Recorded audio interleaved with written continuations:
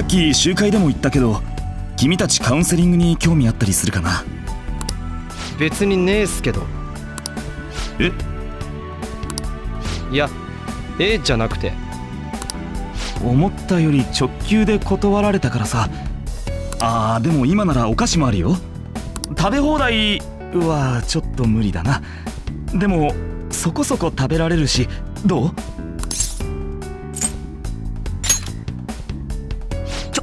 バッチリ釣られないでよ。みんなおはよあれ？先生も清掃活動ですか？うそうだよ。その格好で？ああ僕は違う係を。いた丸木先生。そろそろ仕込み始めますよ。仕込み？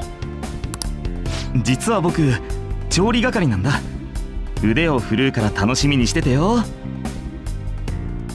里芋は鍋に入れる前に塩を揉み込んでぬめりを取ってと。へえ先生詳しいんだ。結構自炊してるからね。よしせっかくだしあれやってみようかな。何？なんかしょっぱ。多分ごめん